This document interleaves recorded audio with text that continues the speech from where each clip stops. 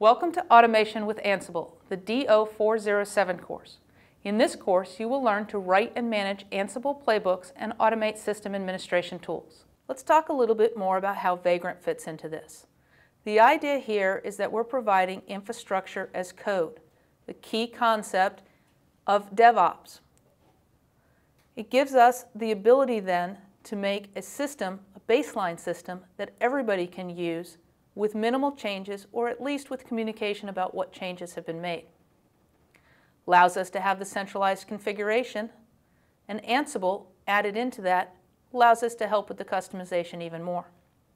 Before I make a change to one of my web servers, I want to remove it from the load balancer. So the first step that I actually want to do, and the first task that I want to do, might be to remove from the load balancer. That means I may need to run a command on the load balancer machine itself.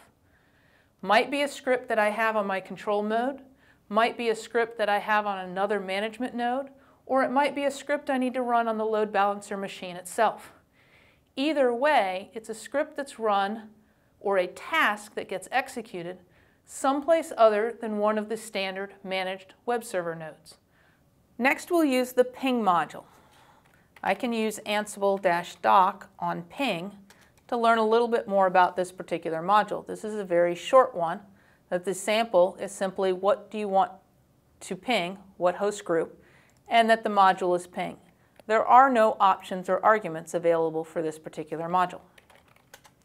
So Ansible servera.lab.example.com minus m and ping will verify that we have connectivity with Ansible to the servera.lab.example.com machine.